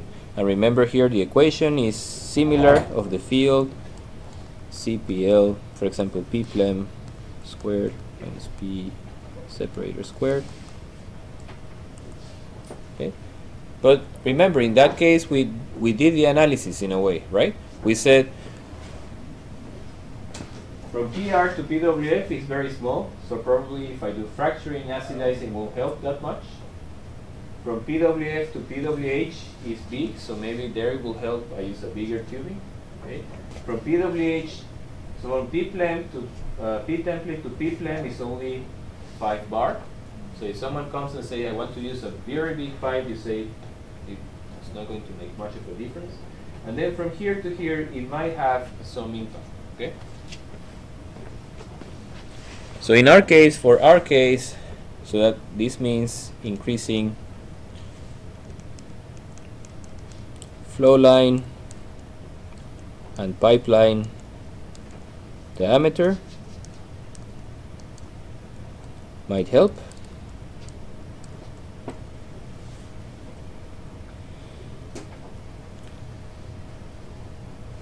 Okay, but for example, for just just um, however, okay, let's say however, keep in mind. Okay, um, keep in mind big pipe is more costly okay simply more costly to manufacture because you have to use more material have to use bigger um, uh, more costly to manufacture and also more costly to install. Okay because the pipe is bigger and it's thicker so you need a special vessel probably of a bigger size to lay it on the on the on the sea of the bed. So and this is more capex and at the end is less NPV okay? That at the end is reducing the NPV so be careful with that part and also another thing to keep into account is um, liquid uh, carry liquid carryover okay? Basically gas is never alone in the pipe. You always have some liquid okay? And that liquid can be um, some liquid can be so this liquid is typically condensate can be some oil that I have from some layer can be water or it can be even production chemicals. Okay and inside these production chemicals I have corrosion inhibitor. Okay I have scale I have hydrate I might have wax. So there are a few things whiskey that I inject into the, the field the, the stream to avoid this problem. So the gas has to have enough enough strength or enough velocity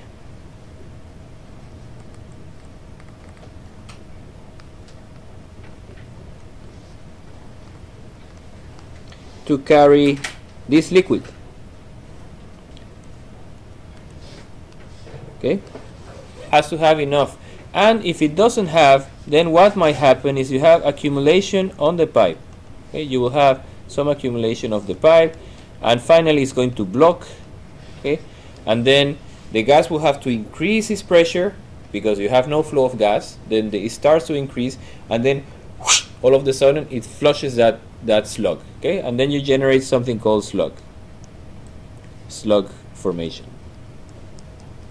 Okay? So if you are in the separator okay and it's receiving the flow rate of liquid. With time you might see no liquid then you see a batch of liquid then no liquid a batch of liquid no liquid okay? So that might be a problem and you might want to have like a, a small pipe size simply to carry those liquids and avoid that problem okay? Yeah now what else can we change in our example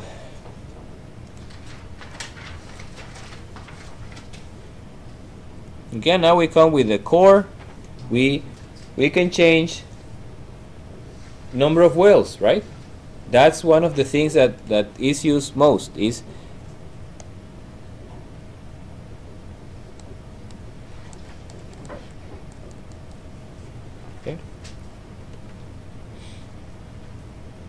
why adding wells is actually increasing plateau duration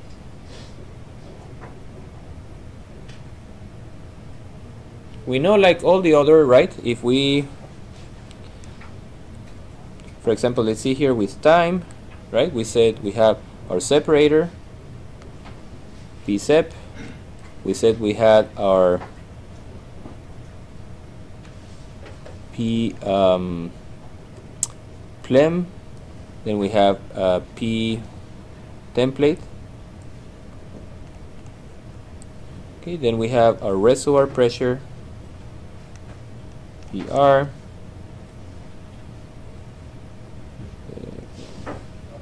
That was PWH. Uh, we have our PWF. Okay, sorry, P this is the opposite. PWF.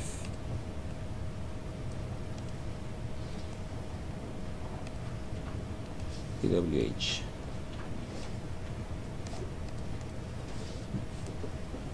Okay so what am I doing by by so that's the delta P of the choke right I have here and simply when the two of them become the same, that's where I have the end of the plateau. Okay, what I'm doing with acidizing, I'm moving this curve up, right? Because the drawdown will be less, and then you see this one automatically is moving up. Okay, and then I'm I will have this intersection later in time. Yeah. Now, when I decrease the pipeline size, then I'm lowering this one, and by, by impact, I'm also lowering that one. Okay. When I'm decreasing the flow line size, I'm increasing the flow line size, I also bring these two together. And then the intersection will happen at a later time. Okay. Now, what am I doing by putting more wells? We are reducing uh, well Yes, reducing the well rate, that's key. Okay, so remember the Q of the well, Q of the field is the same, and Q of the well is Q of the field by number of wells.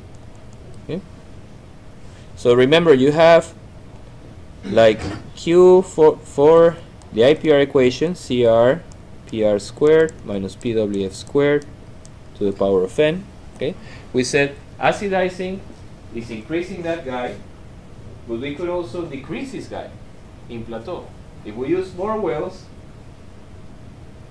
then this number is the same. What I want to produce is always the same. So if I use more wells, simply this rate will be reduced. This is the same, this is reduced, therefore this will be. That's not so obvious, right? We have to make the decrease or increase. Increase. okay increased so p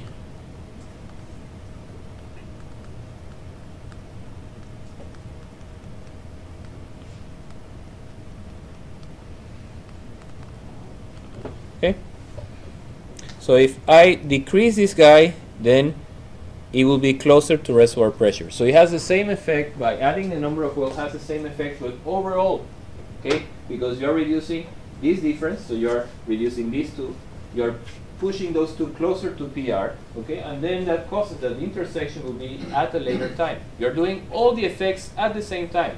The CT CP uh, everything you're doing at the same time simply by reducing the rate.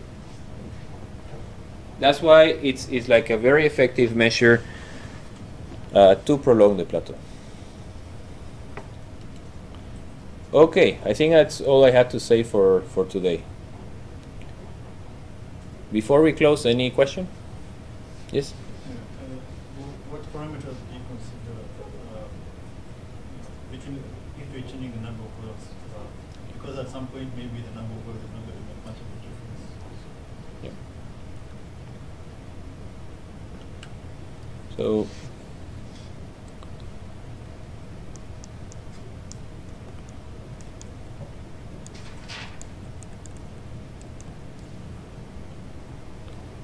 it has a few things to do, but first is the recovery factor. Okay. You want to achieve, for example, you see an, an aerial, um, you have um, aerial uh, description of your reservoir. You see some areas that are not drained, so you, you want to bring those areas into production. Uh, the other thing is um, maximum allowable rate per well. You typically have a maximum rate, and that typically comes, for, for example, if you have coning, okay, either gas or water coning.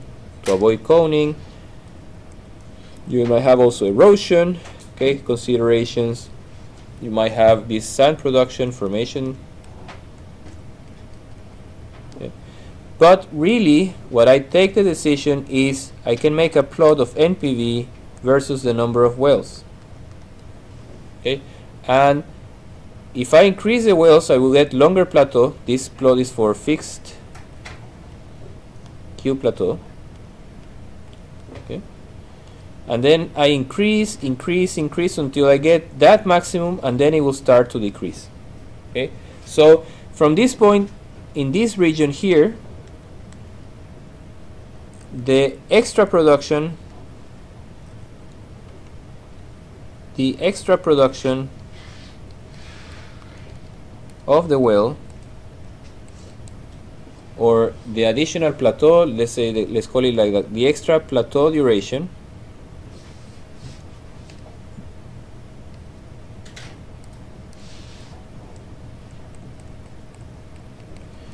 it is compensates or exceeds the let's let's make it uh, the income okay? The income of the extra plateau duration it's uh, is bigger than the extra expenses. Okay? And in this side here the income of a plateau extension is less than the extra expenses. Okay, so you have all of these parameters. Usually, you want to see that you recover more or less uniformly. You don't leave any pockets with high oil or gas that you're not recovering. You have a maximum that is given by some issues with in the reservoir, coning, erosion, sand production, something to do with how much physically I can produce. But also, if all of that is in place, then I have to find the sweet spot. I have to find where really I don't want to put any more or any less, simply that I am in that point where the income is more than the cost. Okay? And you are going to make that plot, so it's good that you asked you are going to make that plot in the exercise and it's a lot of fun okay you have, you have, you have to make a lot of runs so it's a, a lot of fun any other question but didn't you know we didn't finish early we are finishing almost on time so so today we saw uh, this plot, which is very important, I will say all of you should understand it, how to make it and plot it. Uh, we did some comment that our choke actually is big part of the time is in the critical regime. I showed you subs, very important to learn. I think you should keep it in mind for your work life. You're going to be Excel engineers. All of us are in a way Excel engineers. Okay, so we, we should benefit from using Excel.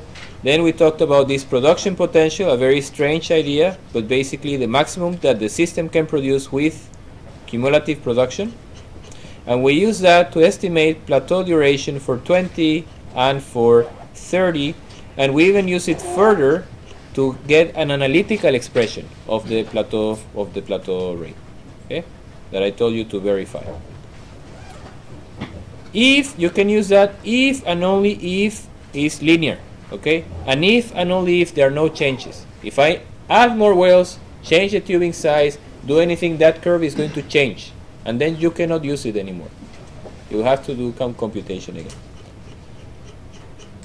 okay, and finally we said ways to prolong the plateau. And yeah that's it. End of lecture. Okay? So see you next see you on monday and have a nice weekend